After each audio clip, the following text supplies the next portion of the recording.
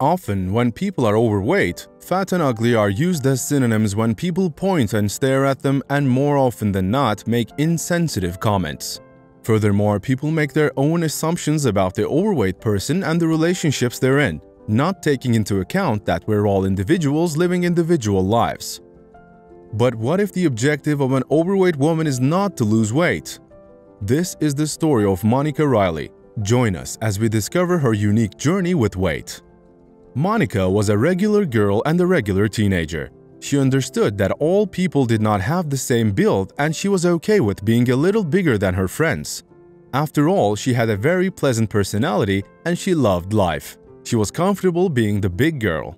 Very few people escape the taunt and humiliation that society directs toward a bigger person. Society wants you to fit into the mold of being as skinny as possible for the media portrays that as ideal and beautiful. Anything outside of that perfect body concept is regarded as ugly. Monica decided to pursue a totally different type of dream. In 2016, at the age of 27, Monica weighed 217 kilograms and was already morbidly obese. Instead of following the rules, she has set herself a goal of becoming the fattest girl alive. Yes, you heard me correctly. This is what her dream was and she was willing to risk it all to achieve that goal. Many people may find her dream strange and even a bit bizarre, but Monica was aiming to weigh around 1000 pounds or 450 kilograms. This is not the climax of the story. When asked why she wanted to be crowned as the fattest girl alive, she added that her ultimate goal was to become so fat that it will immobilize her completely. At the time, she was modeling clothes for a website that celebrates big, beautiful women, and one could see that this was good for her self-esteem. Monica was not alone in her strange quest. At her side was her loving and supporting boyfriend Sid Riley. You may wonder how Sid felt about his girlfriend.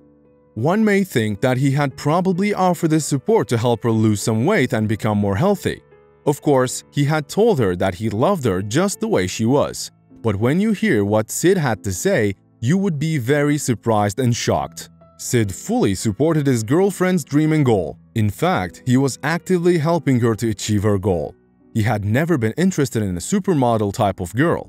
Being of average build himself, Sid was so invested in Monica that he was helping her gain as much weight as possible in as short a time as possible. What would it take for a person to become immobile because of excess weight? Monica had done her research and found that if she weighed around 1000 pounds or 450 kilograms, she might be at that place where she would not be able to move. From there on, she could just continue to gain weight more easily while being bedridden. Finding her goal strange? At that stage of her weight-gaining journey, Monica already needed the support of Sid to move between the sofa and the bed. Monica was impatient to become immobile as Sid planned to wait on Monica hand and foot and he was extremely excited to reach that stage of their shared goal. Monica knew that she would feel like a princess being served all day. Surely Monica must have had some life philosophy that pushed her towards this goal. Monica believed in the Egyptian saying, the fatter you are, the more loved you are. So in her quest for love, she wanted to be deeply loved and it seemed like Sid was measuring up to that standard.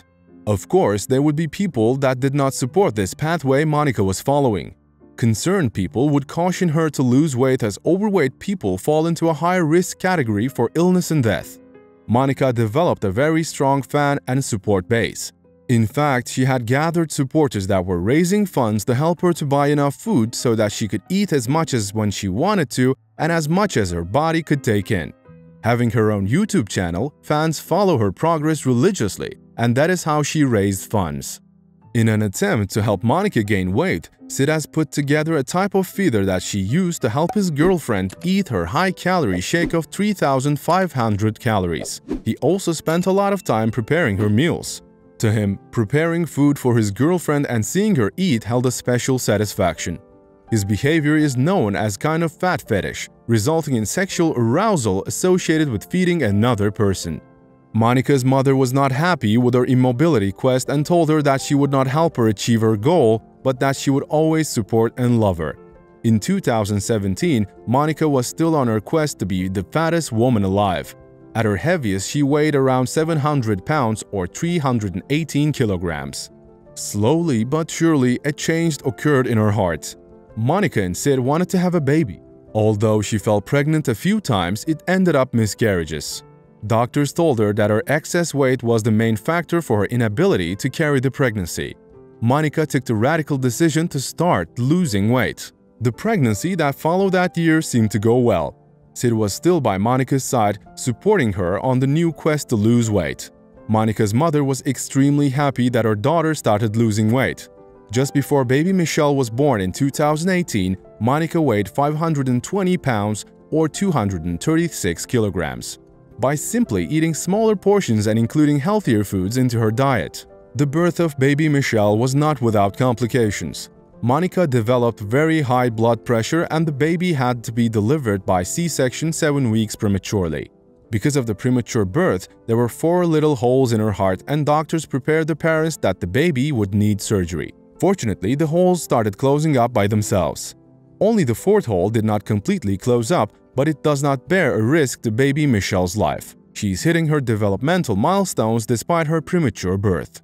In hindsight, Monica discovered that she always felt a kind of void in her life. The food and overeating helped to fill that void. She felt in control. Now her goal has completely changed. She wants to become the best mother she can be. Before she had her baby girl, she wanted to have a child but she was willing to get a nanny to take the child outside and it was her plan to raise the child from the bed where she would be lying immobile. After giving birth to Michelle, she wants to be mobile herself and move around as much as possible. Michelle has given Monica a new goal in life. She is still struggling to get up from the ground after she had played with her baby. Her mental state as well as her general health has improved. She wants to go outside for walks in the park.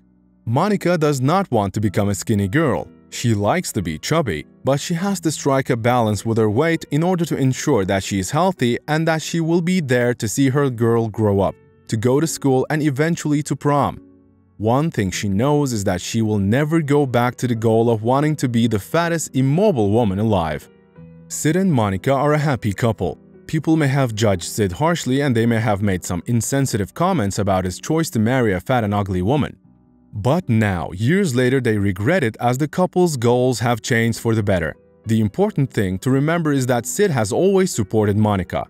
He was there to help her achieve her goals. He did not stand in her way and neither did he expect her to lose weight, like so many others would have demanded. They are a happy family that supports one another. There might be some plans for weight loss surgery in her future, but just to get healthy, not skinny. For the surgery, she wants to drop her weight to at least 300 pounds or 136 kilograms, but 250 pounds or 113 kilograms would be more ideal. Her life goal has changed to being a great mom and a good wife. Her chances were slim of ever becoming a mother, but now that she is one, she wants to inspire others. Even when you're the subject of ridicule and taunting by other people, not understanding who you are, you can move on and live a happy life people often regret the way they treated others when things change so radically. What part of this unusual story did you find most inspiring? Let us know in the comments below. We will continue to bring you these strange and fascinating stories to you on our channel.